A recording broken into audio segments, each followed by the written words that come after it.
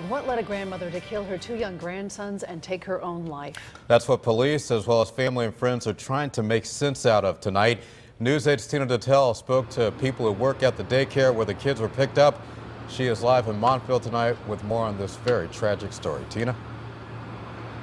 That's right, Keith and Ann. Police continue to investigate what they are calling a double murder suicide. Now, they want to know everything they can about Deborah Dennison, who she was and where she was, and what she had done between the time that she and the boys were found at 9:30 last night and when she picked them up from the daycare 7 hours earlier.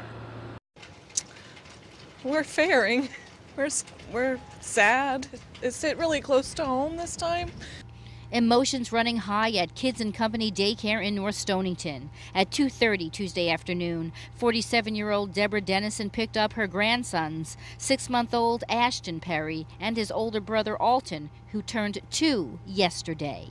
The arrangement was she was going to spend some time with the boys and then they were going to meet up later with Brenda and Jeremy for family parties. Never did they imagine what would happen instead. A suicide note alerted the boys' parents that they were in danger, sparking a statewide Amber Alert, which would end in tragedy. Their bodies found in Dennison's van next to Lake of Isles in Preston at 9:30 Tuesday night.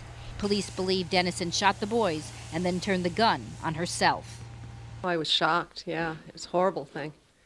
You know, that my heart goes out to the family for you know what has happened. It's awful. Yeah, Those poor I mean, children. Colleen O'Connor lives across the street from Dennison in Stonington and was even more shocked when she heard her neighbor named in the Amber Alert. Dennison's family telling police she was bipolar and had mental health problems. A man who answered Dennison's door waved us away. The same happened at Alton and Ashton's home in North Stonington, where their parents are now mourning a tremendous loss. Their mom, Brenda, once worked at this daycare center. So she's a, she's a great mom. Um, those boys were her life and certainly a very tough day for this family and everyone who knew them. Now, Christine Hare there, who you just saw, the owner of the daycare center, she says that Deborah Perry actually worked at the center years ago. Now, she tells us that counselors from North Stonington schools have reached out and offered their services. If anyone needs to talk to them, they are there. They are available for you. We're live in Montville at the State Police Barracks. Tina Detelj, News 8.